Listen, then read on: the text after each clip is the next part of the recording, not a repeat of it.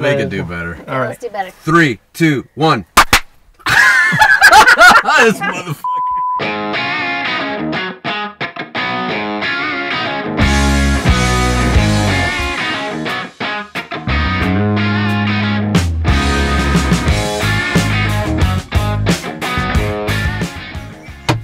All right. All right, you guys. Uh, we're sitting in your awesome rig, and we've known each other for a long time. You guys are hitting the road. Um, but there's been a long road getting here. Um, what? Tell us a little bit about how you guys got started in this, why you do it, and then we're going to talk about this awesome rig that you guys have worked very hard on, and then we'll talk about where you guys are going. Yeah, So yeah, dude. where I don't even know where to start. It's yeah. Us either.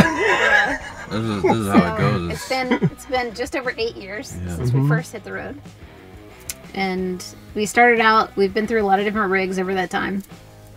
We started out in an Airstream Argosy, like 1974 Airstream Argosy Airstream. camper, not not a uh, Camper. not a trailer. Like a you actually drove It this was a- airstream. it was a driving bubble. It was like dri- it was like driving an astronaut's helmet. And uh, yeah, so that's what kind of got us started uh, right away. Set the tone for the next eight years with the engine blowing Right. within the first few weeks of being on the road. Yeah, Um, but yeah, but I mean, how do we get started? yeah. It's, That that goes back a little bit further, right? goes, yeah, it goes back a little bit further. Um, you know, we there was a long time where I didn't want to go on road trips because of you know experiences I had overseas, and, and there was some you know some other things going on there too, and and Jessica was like, you know, she kind of kind of just nudging, you know, not pushing, Yeah. nudging like gently in her in her way. And we did this one trip around the west that was, uh, uh, you know, 5,200 miles, 5,200 miles from Atlanta to Wyoming down through Utah and it was my first time our first time really seeing the american west and we were just blown away i mean we were Yeah. just staggered by the things that we saw the, the the the landscapes and the and the mountains and something that you know something that really stuck out to me was how it was one of the first times that i'd experienced a full night being outside a full night in the dark and the experience of hearing coyotes of seeing millions billions of stars whatever however many just an enormous number of stars and the only other time I'd experienced anything like that was being overseas, you know, being in mm-hmm. Iraq and being in the desert. And the salience of that experience was very, mm-hmm. very different to what this was. And it was just this awesome piece, just being out there in the space. And that's kind of what lit the flame, really, where we were mm-hmm. like, God, we want to, we want to live on the road. But the thinking, you know, the thinking was very, in that sort of stand that sort of standard thinking or maybe the more traditional thinking that you work you build up a retirement when you build up your retirement then you can buy the camper and then you'll just you know travel the country when you're 50 60 whatever however Yeah. however many And- years and I think Right. we really wanted to do that younger. We knew that, Yeah. But we still feel like there were certain things we needed, certain check marks we needed to do, like paying off our student loans or um, being completely debt free and all these things before we could consider what that would look like for us. And one day, I'm sitting at my computer, just I'm working on a logo, designing a logo, and I get a tap on my shoulder, and I'm I got headphones on. I say, "What? I'm doing. I'm working over here. I'm working here. I I'm know, working here." that headspace. Yeah, yeah, exactly. And she says, "Hear me out. Chill out. What do you think about moving into a van when our lease is up here in three months?" I'm like, "What? What are you talking? How? What? We have to retire first. Like we have to check the Right. boxes." And she says, "No, no, no. Hear me out. You can do it. We can do it. Like we can travel." And work from the road using a Wi-Fi hotspot. And, and literally all of our clients right now, they're all in Atlanta, New York City. We're mm-hmm. already working remote. All we have to do is just figure out how to do it on, from the road, and this is how we can do it. And oh, by the way, there's no rent. We have fewer cars. We have all. We have way less expenses, which means that with the amount of money that we're earning right now, we can actually put all that money that we're using for rent and all this other nonsense Yeah. Towards the student loans. And we were off to the races.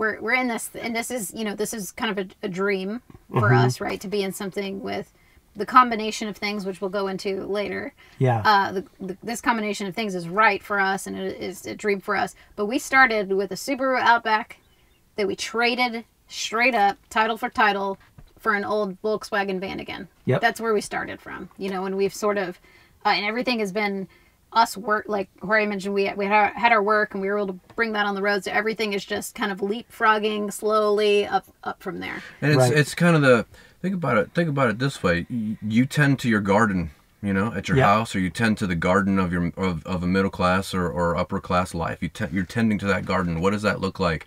You know, you're making the slight upgrades to your house. You're fixing the roof. You're doing this, and and you're trying to leave it better than you found it. Essentially, mm-hmm. like I want to come home to something that means something to me, and that's the same dynamic out here, only applied to our rigs. Right. Right. So we started here with a Vanagon, and then we moved to the Airstream Argosy, and that thing blows up, and the floor rots out of it, and and we're like, oh, this is definitely not going to work. So back to the van again. we fix up the van again, and it's and it's this dream vehicle. We have some of the best experiences we've ever had in our life, and then we get inspired by other travelers that we meet who've been traveling around the world, and it just blows our mind that you can do this. Like this. For real, you're a family of four traveling in a Defender around around Africa and mm-hmm. South America and you're working from the road and living in a rooftop tent come on man if they if they can do it if they can do it and if they can figure out what trade-offs to make.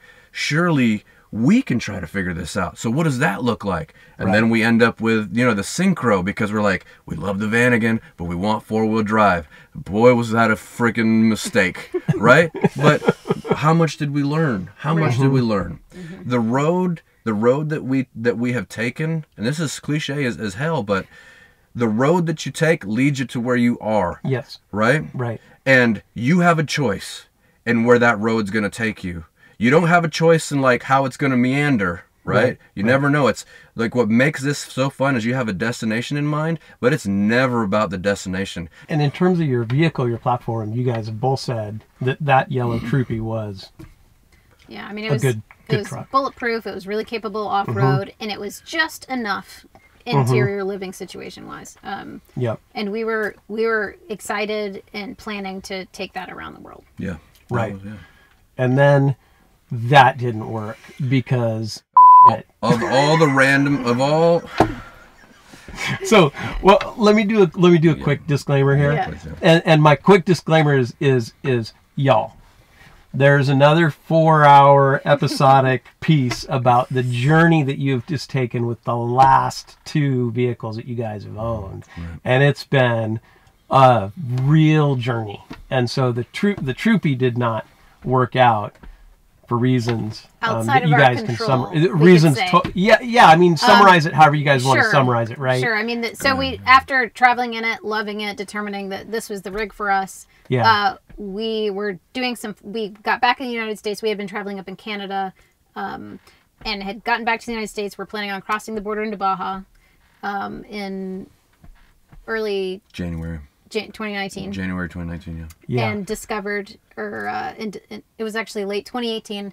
and then we got a phone call, yeah yeah, yeah. and it had been discovered that uh, that vehicle was illegal, um, Right. that it had been illegally imported. correct Yeah, that the this is not verified. This isn't you know, but but all the evidence points to the fact that the people who build it in Germany, yeah you know, cut the cut a new VIN number out of it and welded Yeah. in an old VIN number Yeah. to make it appear as if well it i'll was. i'll say maltec okay. I'll say Maltec. Um, and and the reason this has nothing to do with you guys. Um, I know lots of people that have done business with with Maltec. Not not not just you guys. Not you guys. And uh, if you're a customer, I'm sorry. And if you do business with Maltech, you're suspect. Uh, that there, it really has not been bad. They, they've they've really taken advantage of a lot of folks, and it's it's not it's not great. Um, So not to focus too much on that in this video, right? I mean, you guys have been through a, a journey with that, and you thought you had the perfect rig, and it wasn't even legal in the states. No, I mean it's not legal anywhere. It's not legal do- anywhere. Doing doing that to a truck is not legal anywhere on this Yeah. planet. And so we discovered that, and there's a whole journey there of negotiations with them and trying to figure out what to do. Yeah. And at a certain point, they, we were just like, just give us our money back. and when that when that when we crossed that bridge, like just give us our money back. They said, okay, we'll give you your money back. Two weeks pass and we don't hear anything, Yeah. and then we get a phone call, and and and essentially the owner of Maltech says, listen, what if we do this? You give us that troopy back. I'll put it on an 80 series chassis. Okay, make it completely legal. You help me sell it in the United States for for at least a certain amount of money, right? Yeah. Okay. And in exchange for that, I will build you the A- truck a that replacement. a replacement truck, Right. the truck To- that you need Right, Right. to make you whole. to Yeah. make you whole. Yeah. And Because you had a good truck.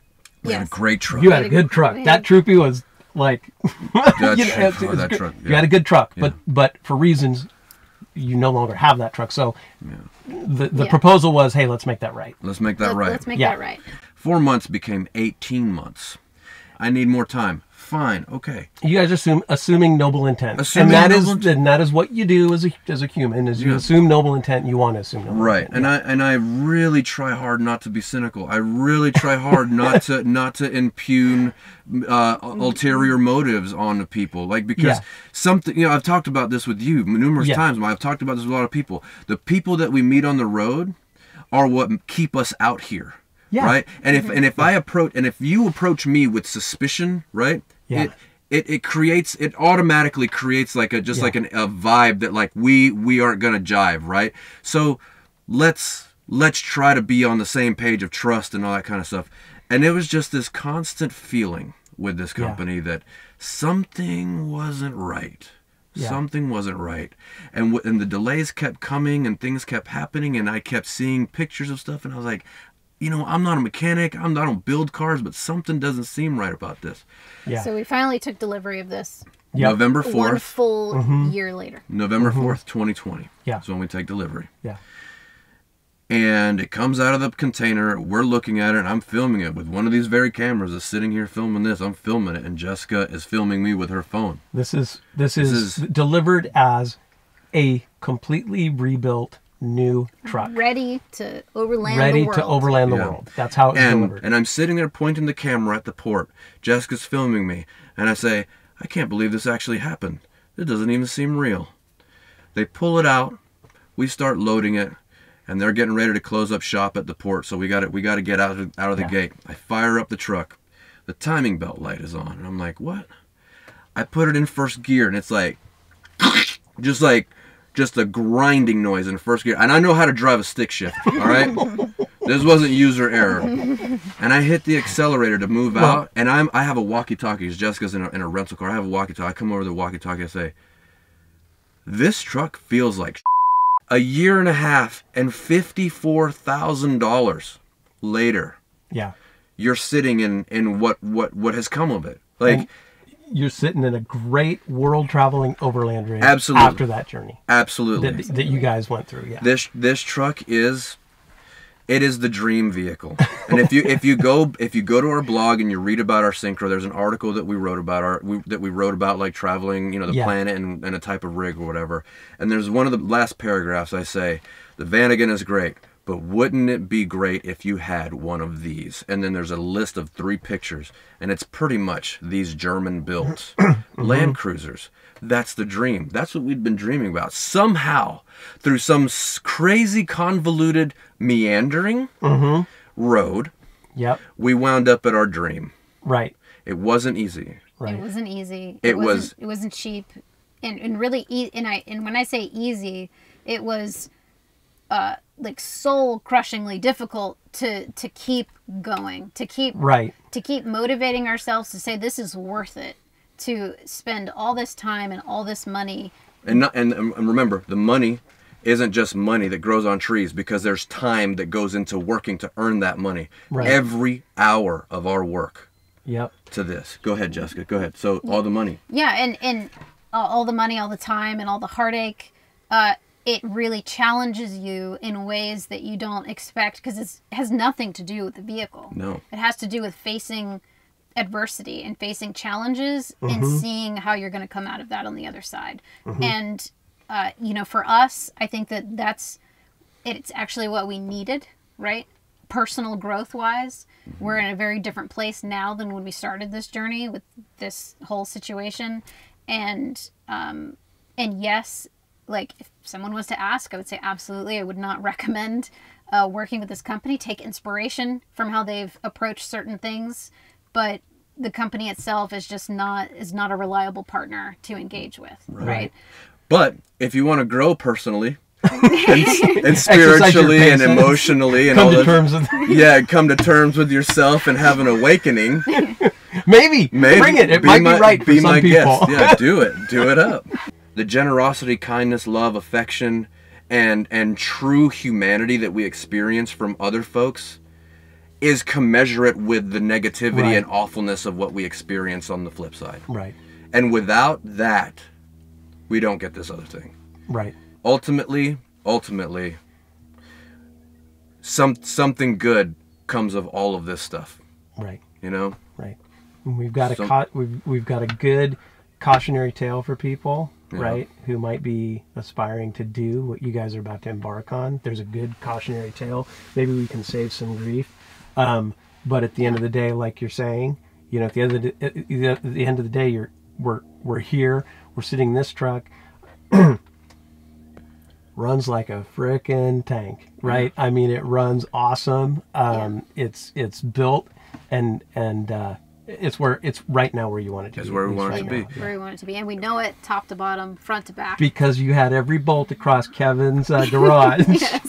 and you had your manuals, and you were putting it together piece by piece, Yeah. Yeah. right? I mean, and yeah, we had, and we had you know fo- call, calling people on the phone saying so what is this little piece again What is-" you know like and, and yeah we had a lot of, we had a lot of help for all the grief that we had with the drivetrain the interior is stunning Mm-hmm. the way they laid this out is beautiful unbelievably uh functional and like gorgeous i every time i come into this mm-hmm. space i feel like they should build shells. yes. you know what That is what they should That- do. you know what? If that's what they did, I, I would I would be fan numero uno. Well, Yep. maybe not numero uno, but but you know, you could you could al- you could almost get to the point of like, oh, you might go to them for a show. yeah, Yeah, yeah, Yeah. yeah. absolutely. But but we're here, and the tr- and the truck is It's It's- gorgeous. it's staggering. Yeah, yeah, Yeah. it's great. Um, you guys are about to embark on an awesome journey. Um, uh, let's talk about what you're about to do. Tell us what we're in. Tell us, just give us some nerd stats Yep. on what we're in, and then tell us what you guys are about to Sure. do. So, So- you want me to take the nerd stats and you take the what we're about to do? Sure. All right. So we're sitting in what is essentially an 80 series mm-hmm. truck that has been extended by 400 millimeters. I think that's 15 inches. So the so the wheelbase has ex- been extended 15 inches in order to accommodate a larger shell. The shell is made from carbon fiber. The front of the truck looks like a 70. uh, Well, it is a 70 series. Like so, everybody thinks that this is a 70 series, but it's a 70 series uh, Saudi spec 70 series uh, cockpit on an 80 series chassis running 80 series or European 80 series spec. So it's an HDJ80. So we have a 1HDT engine in this, which is a six straight six turbo diesel. We've upgraded the turbo to a, uh green wheel turbo from G Turbo in Australia. Makes uh, plenty of power. We could actually make a hell of a lot more power, but we aren't trying to race. We aren't trying to race to South America. Um, it's been intercooled. Um, we've added, we've we've had to rebuild the injector, the inject, or I'm sorry, the injection pump. The injection pump is functioning perfectly, beautifully. We've got new, um, we've got new injectors. We've rebuilt the entire engine. It's running an H151 uh, F gearbox, which is the heavy-duty version of the of the uh, of the gearbox that came in the HDJ 80s. Extremely, extremely strong. Um, transmission. Uh, it's got a full-time four-wheel drive. I think it's trans- transfer case, right? So I'm, I'm starting. I'm starting to get to the uh, limit of my nerdness here. So full, full-time four-wheel drive, uh, sitting on 35-inch tires. Yep. Um, below below deck, we've got 35 gallons of fuel. We've got 62. I'm sorry, 35 gallons of water, mm -hmm. 62 gallons of fuel, with, which gives us a range of about 900 miles. We get roughly between 16 and say right Yeah. yeah, we don't have to we don't have to stop at a lot of gas stations what i'm trying to say Great. yeah um and and she pulls like a horse i mean Yep. she pulls It's Right unreal, man. It's uh, Yeah. the work that Torfab did in Seattle. You want to know some guys Uh-huh. that know what they're doing and are really great guys to work with. The work that they did, they, they, they did to dial this thing in after Jessica and I put the engine together and got everything kind of you know working. Absolutely, Torfab. just yeah, tor- just Yeah, just great. unbelievable work, unbelievable work. And the and the transmission, like you said earlier, was rebuilt by some friends nearby, like uh, the guys at Valley Hybrids. right Yeah, great work. George at Valley Hybrids. George, yeah. and his group. Um, great guys. Uh, the hood is the hood is fiberglass, so it's really Mhm. light. Um, what what what else am I missing, Jessica? We've got storage all over this truck. The, the truck at Inside fully and lo- out. inside and out. The truck fully loaded comes in at 8,200 pounds, but it doesn't feel like 8,200 pounds. Yeah. Yeah, And it- and we don't and obviously that's fully fully loaded. That's so fully- that's Expedition weight, if you want Yeah. to That call is that's that. yeah, Yeah. that's that's full Yeah. water tanks, full fuel tanks, full everything, everything. But we you don't need full fuel tanks, you know, Right. terribly often. Yeah. Yeah. Uh, we try to use, do that uh, strategically. Uh, Mm-hmm. If we Um, know, obviously, if we're not going to have access to fuel, but also um, if we can get cheaper fuel in one place. Yeah, that's an investment when you're Yeah. filling up that kind of a, s- Yeah. a fuel tank for Yeah. sure. Yeah. We've got Scheel-Mann seats up front, which I got to tell you, I was skeptical. I was skeptical about paying that much money for new seats. Yep. I ain't skeptical no more. How's your booty? Dude, I gotta tell you, because these Land Cruisers do not come with comfortable seats. No, they do not. Right. No, they And do not. these are stunningly good, um, really good seats. It's, it's just very comfortable up there. We've Yeah. we've we've adjusted the cockpit to be sort More of this. functional? Yeah, yeah, way more functional. We put a, a, a s- an upper uh, a console, on the on the ceiling Uh huh.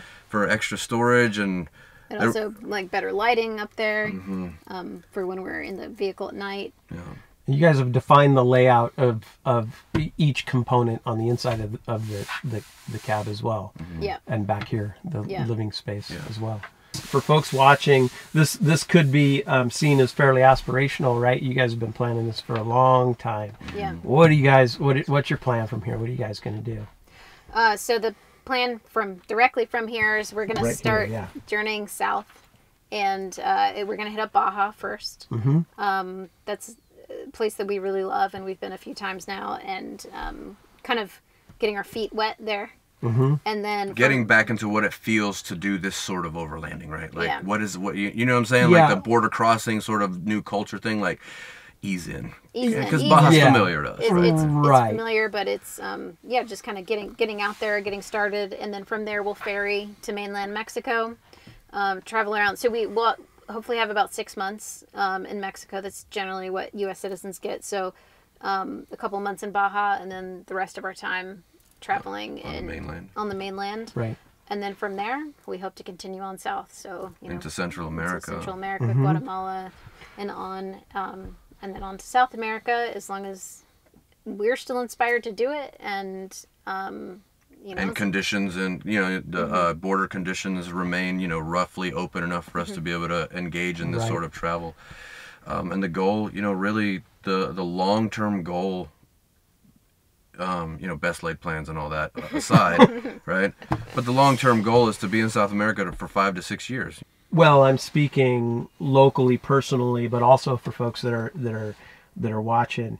You guys did a great talk with local Overland Bound members today about, you know, some of the details around what you guys have planned, what you you know, the details about, you know, how you are going to live, some of the logistics about paperwork, and you guys are amassing this knowledge uh, for yourself. Will you be in contact in any way for people to ask you questions or? You know, reach out and say, "Hey, I love your story. I would love to do something like that. Can you give me some advice?" Things of that nature. Will you be absolutely available? yeah absolutely you know as you know we don't really we're not really on the major social media platforms Yeah, congratulations. um, Yeah, we're still trying to figure out what we want to do with youtube because it, because it is different you know but yeah, we want to hear from people. Like Uh-huh. I want to hear from you, not as filtered through a platform that's distracting you. I want to hear Yeah. from you, and I want to Yeah. talk to you. The things that we have together, these these, Yep. this is what this is what's real. I want I want to extract myself from this thing, and be exist in meat space. Right? yeah, Send me an email, and if we can meet up with you, let's meet up. And if you have questions, man, I'm happy. We're happy to answer questions to to an extent, right? Like, don't send us like a five thousand word email with. Please like, figure it out for me. Yeah, like yeah, figure it out for me. But Yeah. but we're happy to point you in the direction, you know, Yeah. and to try to and to help you figure it out because we wouldn't be here without people willing to answer our questions. Right. Yes. And Right. I also want to say too that we do have a website, Mm-hmm. and um, we are going to be shifting our focus from, uh, like he said, not posting on social media anymore, but Yeah. but pulling together stories, you know, that we encounter along the way, giving updates and things like that through our newsletter. Great. Um, it's not something that's going to be like on a regularly scheduled basis or anything like that. It'll be as there is something to share. Right. or as we make updates on the website or as we you know we're, we're both designers and um, like creating things. So occasionally we create new merch items so we'll share those things through our newsletter and through our website. And there's a there are already a number of articles um, or blog posts up on the website that do have some information on some of these things so i would encourage people to go there. You don't have a we're going to go there and then we're going to come back date. It's like we're going to go there. It will probably be a number of years, and we'll see what happens as it as it comes. yeah, that's that's really our approach and that's that's kind of always been our approach to this this whole thing you know before i mentioned when, when we first hit the road we are like "Ah, i guess it'll be a year but we didn't really have a specific target in mind and then a year came and went and it was just like this is not nearly enough time you know Right. there's so much to see the more you're out the more you see kind of like the more you learn the less you realize you don't know Or le- the more you realize how much you don't know. yes Yeah, you got it. Yeah. Yeah, i don't know if it's Well, yeah. Whatever. that whole thing. but, but yeah. you and it's kind of the same with with travel for us it's just like the more you see the more you realize there's so much more to see and it's not that we have to see all of it Mhm. um, but that there's just this desire um, to experience as much as we can in a way that's sustainable for us right. you know as individuals and together and um, so so we'll we'll just kind of see how it goes and especially after this experience of this whole situation with the truck and the waiting and the starts and the stops and the starts and the stops um, yeah i think it's got us both in a in a headspace where i'm i'm happy i'm happy that we're here Right, Right. now. Right talking now. to you. Right. Talking This is to you, it. that our truck is working hmm. is awesome Yep. and it's like that that is enough in and of itself mm-hmm. If, so if, we'll see what happens next if the universe swallowed us up right now and said you're not going to South America, I'd be like, cool. You know what? This was great. This was great. We got this Ma- far. Get managed. Yeah. I, we got this far and tomorrow wherever we end up we got that far Mm-hmm. because I, as we learned over the last six years the harder we push to try to make it happen the further away it seemed to get. Mm-hmm. And the moment that we decided this is one bolt at a time one day at a time mm-hmm. suddenly everything started to fall into place